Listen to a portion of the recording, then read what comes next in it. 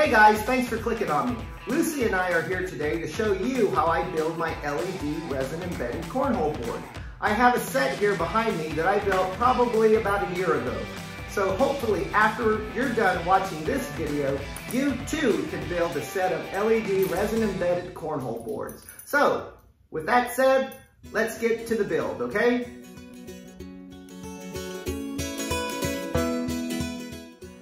First thing you want to do is mark the top of your board. Flip the plywood over, and now we're going to make a centering jig that we will use a few times during the build. Find yourself a piece of 1x4 that is about 12 inches long, and drill holes on both ends of it. Make sure to use short screws as not to screw through the top of your board. Screw the board to the back of the plywood centered over the hole. Now flip the plywood over and find yourself a small piece of half inch material and place it in the hole on the 1x4. Secure this piece down with some brad nails or some short screws. The reason we're making this jig is to find the center of the hole. Now measure from the side 12 inches and make your marks. And then from the top of the plywood, measure down 9 inches and make your marks. Now grab a straight edge and connect your marks. Now you will have two intersecting lines. Where they intersect will be the center of the hole. Next, mark the bottom of the hole at the center point, 12 inches. We'll use this mark later. Now, measure out 3 quarters of an inch from one side of the hole. And do the same thing on the other side. Measure out 3 quarters of an inch.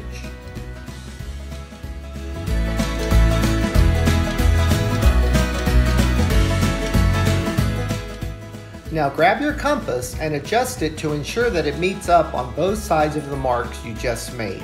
Now draw your outer circle around the hole.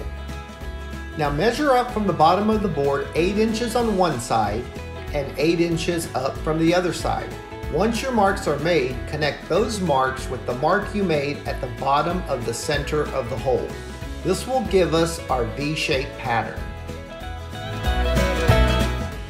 Now measure out 3 quarters of an inch from both sides of the V lines you just made. If you're seeing a pattern develop, you're correct. All of the channels we are making will be 3 quarters of an inch wide. These 3 quarter inch channels will be where we embed the LEDs in the resin.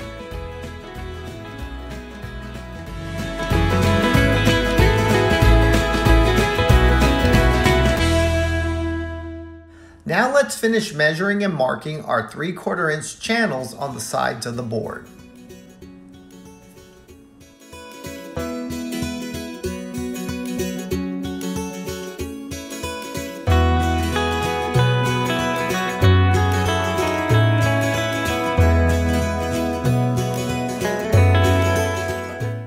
Now that we're done marking up all the channels that we will route out later, let's prepare for the next step.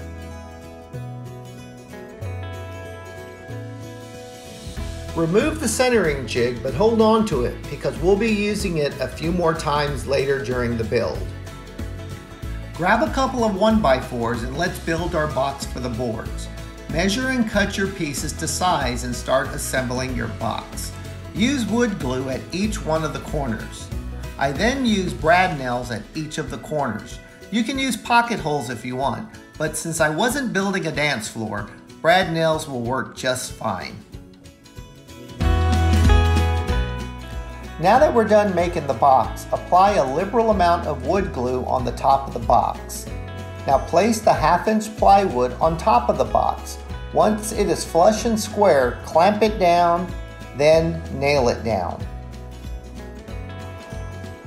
Now flip the boards over and cut a piece of 1x4 that fits in the center of the box. Nail it in place. Doing this will give it more support and cause the boards to be less bouncy. Now cut a 1x4 into four 16 inch pieces. We will now make our legs. Measure down 1 and 3 quarter inches from the top and then measure in 1 and 3 quarter inches from the sides. Connect your marks. At the intersecting line is where we're going to drill our hole for the legs. Adjust your compass to one and three quarter inches and mark the half circle at the top of your legs. Now chop off both of the corners as close to the line as possible.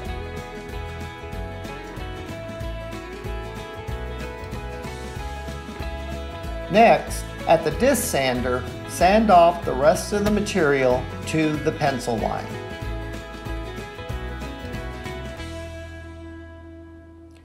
Using a 3 8 inch drill bit, go ahead and drill your hole at the intersecting lines.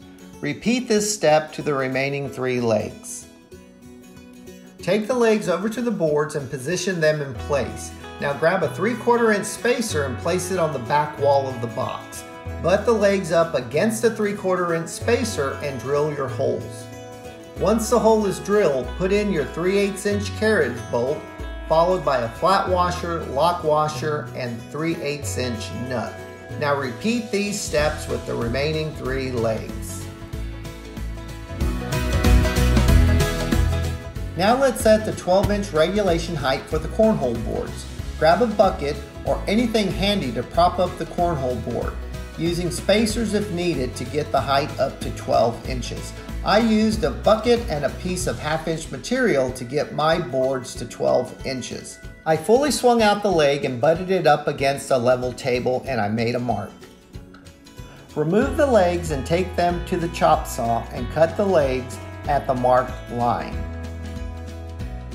Now grab the other leg and flush it up underneath and make the same cut.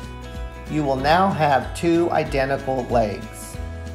Now reattach them to the cornhole board with the carriage bolt and hardware. Flip the board over and well bam, you have a 12 inch high board. Thank you ma'am. Next I cut another piece of 1x4 to use as a support piece for my legs. I did drill in pocket holes on both ends of the board.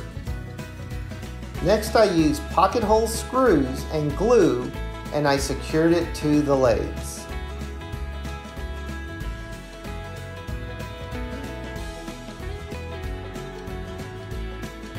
Now that we're done completing our cornhole boards, remove the legs and put them aside. Now cut a piece of 3 quarter inch common board to 10 inches by 10 inches. Apply a good amount of glue on the bottom side of the plywood around the hole. Center the piece of common board directly over the hole and tack it down. Next, drill pilot holes around the hole, staying at least one inch away from the hole. Screw it down to the plywood. Making sure the screws you use are short enough so that they don't pop out of the top of the plywood.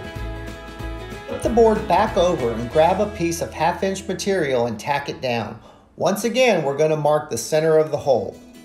Drill a pilot hole at the center point and using a 6 inch hole saw, drill a hole through the 3 quarter inch common board.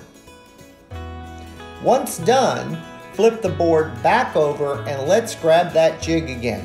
You know the process. We're going to mark the center of the hole once again.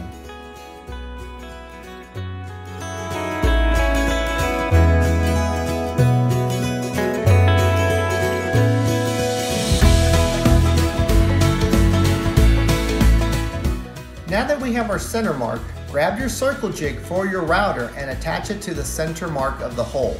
Adjust your router to cut at the outer circle pencil mark that we made earlier. Make sure to use a 3 quarter inch straight bit on your router. Once you've made all your adjustments, let's start routing out the 3 quarter inch circle. I ended up plunging down about 3 or 4 passes until I got to the perfect depth. I ended up going past the half inch plywood and I ended up cutting into the common board about an eighth of an inch. This will ensure that when the LEDs are placed on their side, that they will be deep enough in the channel that the resin will go over the top of the LEDs and cover them completely. Now let's measure and clamp down some straight edges that we will use as a fence for our router and begin routing out our channels. I plunged in about 3 eighths of an inch making multiple shallow passes until I got to the 3 8 inch depth.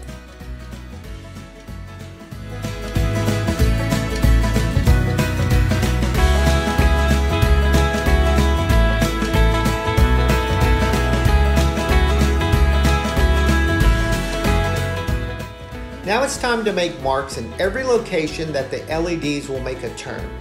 Using a pencil, make those marks in the channels as I did here. Using a half inch straight bit, let's plunge down a little bit deeper.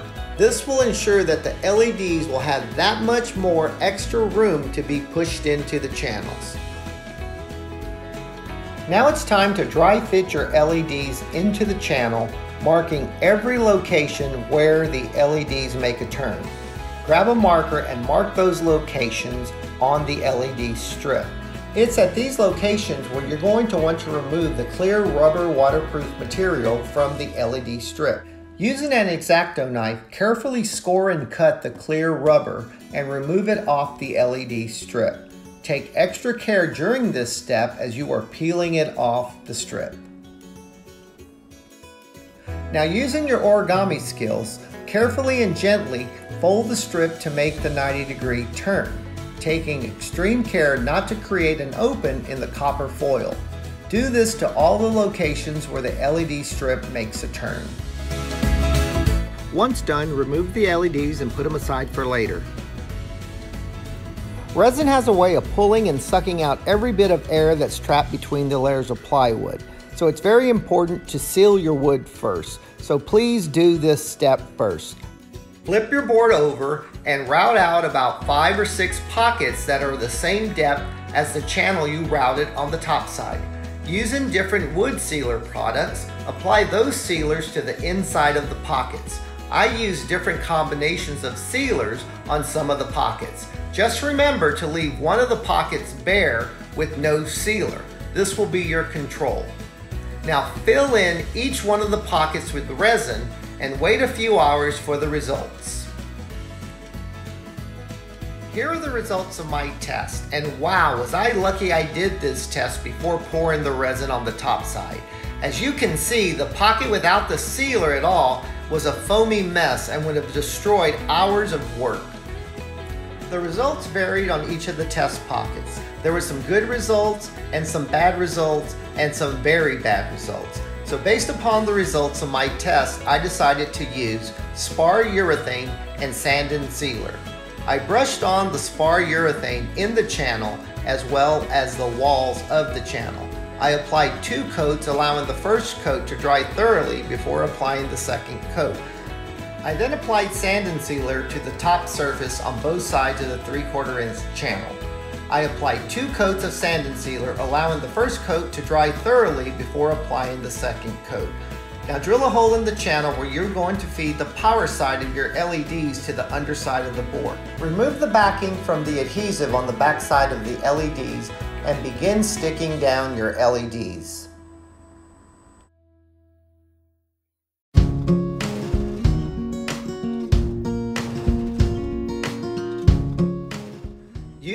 Piece of 0.03 inch plexiglass, cut a strip that is the circumference of the circle and about 2 inches tall. Drill holes on the bottom of the strip that are 1 inch apart and position the strip inside of the 6 inch hole. Now using thumbtacks, put the thumbtacks in each of the drilled holes and hammer them in with a small hammer.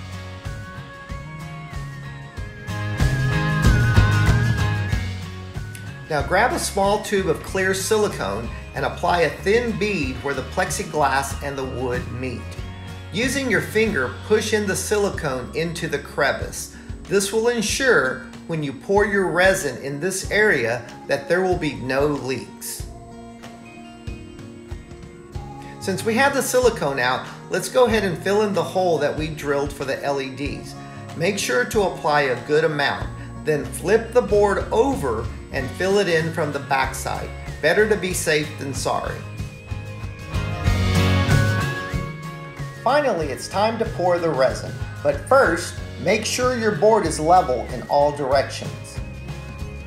I decided to do the resin pour in two steps. I mixed up one small batch of one-to-one -one resin, stirring slowly to avoid making bubbles. I decided to pour just enough resin to fill in the channel halfway. Doing this will totally cover the LED strip. This will serve two purposes. If there is any outgassing or formation of bubbles and foam, it will be hidden in this layer. And secondly, the hardened resin will hold down the LEDs because sometimes the LEDs have the tendency to unstick and float up in the resin. As you can see, our test results proved to be true, and there was little to no bubbles being produced in the resin. Better to be safe than sorry.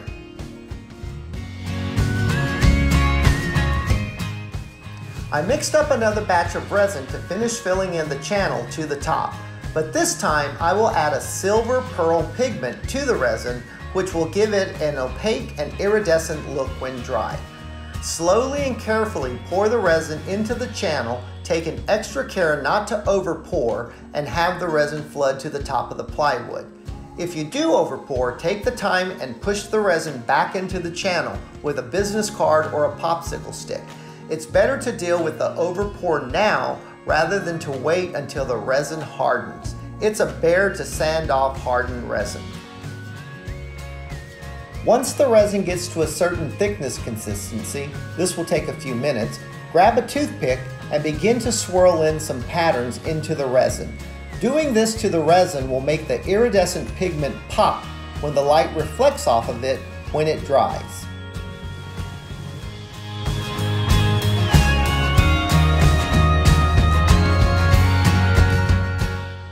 Now it's time to remove the plexiglass form from the hole. Remove the thumbtacks and pull out the plexiglass.